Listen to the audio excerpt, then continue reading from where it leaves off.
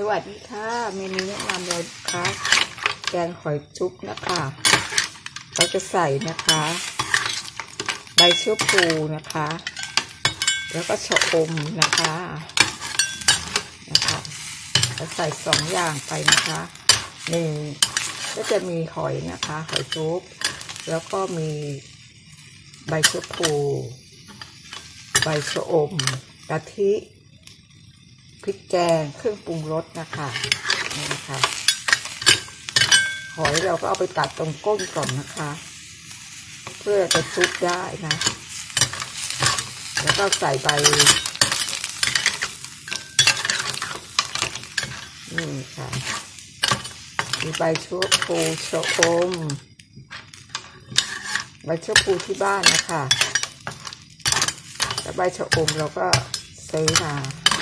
ทอดใส่ไข่ด้วยค่ะ นี่นะคะหอยเราซื้อมาประมาณ ก็นิดประมาณสามสิบสี่สิบนิดเดียวเองนะคะ หอยจุ๊บเขาเรียกหอยอะไรก็ไม่รู้เรียกหอยจุ๊บนะคะของเราเป็นเมนูแนะนำนะคะ เมนูแนะนำ เราจะทำมาเรียบร้อยนะคะทำทำกะทิเราใส่กะทิทำใส่กะทิใส่หอยนะคะ แล้วเราก็ใส่เครื่องปรุงรสนะคะ ใส่ชะอมใบเชื้อพูนะคะ เราชอบใบเชื้อพูกลิ่นมันหอมที่บ้านมีเยอะผักอะไรก็ใส่ได้นะคะ ถ้าเราชอบนะผักอะไรก็ใส่ได้ถ้าชอบนะคะ นี่ทำให้สุกๆนะคะ ก็เป็นเมนูแนะนำนะคะ ว่าแต่ละวันนี้เราจะทานอะไรนะคะ วันนี้เราก็อยากทานหอยจุ๊บนะคะ ก็มีพริกแกงมีของอยู่ที่บ้านแล้วนะคะเราก็เอามาทำค่ะให้เขาเดือดนะค่อยเคี่ยว ก็ทำนิดหน่อยนะคะ ไม่ทำเยอะ เพราะบางคนที่บ้านก็ กิน บางคนก็เขาเกียดรุบเขาก็เลย ไม่ได้ทาน เราก็ทานเอง ใส่กะทิหนึ่งกล่องนะคะ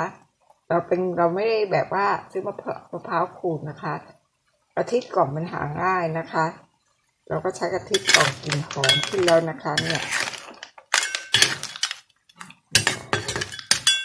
เดี๋ยวปิดแก๊สเลยนะคะก็เสร็จแล้วนะคะ เป็นเมนูแนะนำสั้นๆนะคะ ว่าแต่ละวันว่าเราจะทานอะไรนะคะวันนี้จะทานนี้นะคะแกงข่อยแกงข่อยจุ๊บจุ๊บจุ๊บจุ๊บค่ะคนให้เข้ากันซีก่อนนะคะอะเราก็ตักใส่ถ้วยเลยนะ จะร้อนไหมไม่ร้อนหรอกกลิ่นจะหอมมากจุ๊บจุ๊บจุ๊บ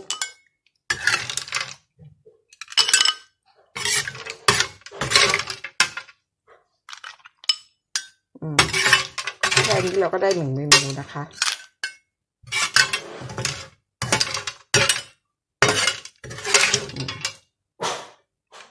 นี่นะคะ ใส่ชะอมก็อร่อยนะคะ ใส่ชะอมก็อร่อย นี่ค่ะ เส ร็จเรียบร้อยแล้วนะคะ เป็นคลิปสั้นๆ เมนูสั้นๆนะคะ นี่เลยเทไปเลยนะคะอ่าเมนูของเราเสร็จเรียบร้อยแล้วนะคะ นี่นะคะแกงหอยจุ๊บนะคะ ก็ขอจบคลิปนี้เพียงเท่านี้แล้วกันนะคะ ขอให้ท่านผู้ชมทุกท่านที่รับชมคลิปนี้จงมีสิ่งดีเข้ามาในชีวิต เดินทางไปไหนขอปลอดภัยแคบค่าจากพยันตรายทั้งปวง บุญรักษาผักคุ้มครองสาธุค่ะ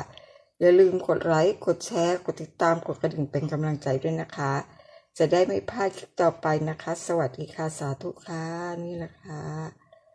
รอไหมคะรอนั่นนึงค่ะ อ่า สาธุค่ะ บ๊ายบายไปแล้วค่ะ